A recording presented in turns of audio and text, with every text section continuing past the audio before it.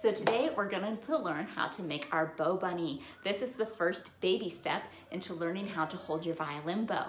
So first you want to find your right hand. This is the bow hand. You're going to make the bunny's chin and bottom teeth first. So with your thumb, you're going to bend it like this. This is your bunny's chin and bunny's bottom teeth. And then for the top teeth, you want the top teeth kind of hanging out like the bunny's mouth. So you're gonna find these two fingers. Those are gonna become your bunny's top teeth.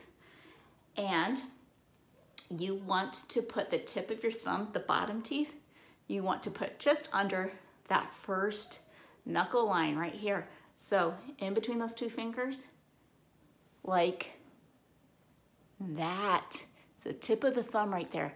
So the bunny's teeth hang out. And notice, I still have a bunny chin. Okay, that's the bunny's chin.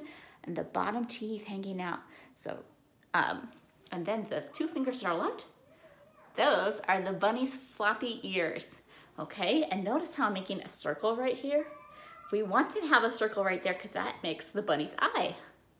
So enjoy practicing making your bow bunnies. Bye-bye.